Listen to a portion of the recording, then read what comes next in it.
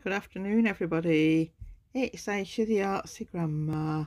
I hope you're all well. Saturday the 3rd of October. It's a miserable day here in Preston. It's dark and miserable and the rain just hasn't stopped all morning.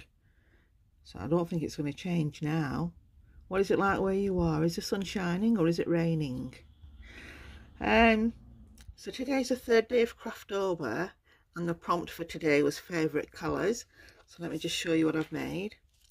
I've made this card. And I think this um, is a Papillon range of paper that I've used.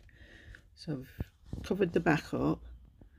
Then I've used this frame contrasting frame from the same range. I put four sequins in each corner. I've used a bow and I've used contrasting paper in the middle and I put a little heart in. Again with contrasting paper. So I thought that looks quite nice. Something a little bit different. So pinks and purples are my favourite colours and I like teals and turquoises as well but um, the two I've used today is pinks and purples. So I've used this for the purple and then this one here.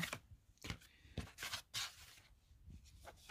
think pink was just too much so I've contrasted it with the green and then I've used two die cuts in each corner here.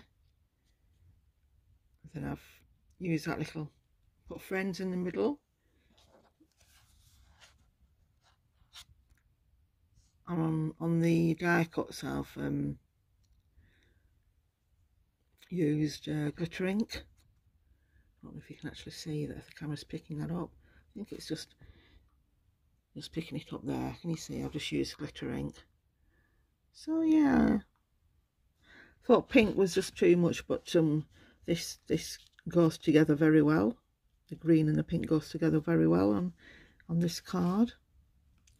So let me know what you think. Which one's your favorite um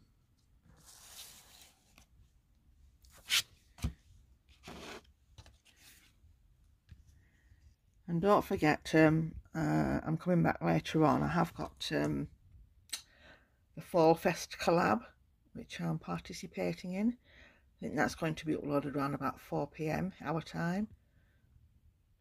Okay everybody, see you again very soon. Bye bye for now. Don't forget to give this video a thumbs up. Bye bye.